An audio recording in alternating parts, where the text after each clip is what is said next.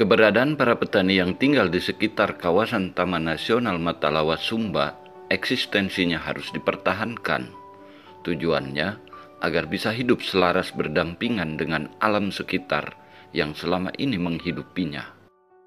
Baru-baru ini, para petani yang bermukim di sekitar penyangga kawasan Taman Nasional Matalawa Sumba mendapat berbagai pelatihan praktik cerdas untuk meningkatkan taraf hidup ekonomi keluarganya. Intinya, bagaimana masyarakat sekitar kawasan bisa hidup sejahtera dengan berbagai kreativitas yang dibimbing oleh Balai Taman Nasional Matalawa Sumba.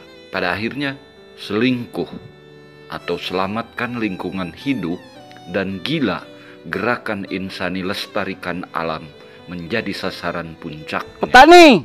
Yes! Petani! Yes! Petani, petani! Yes!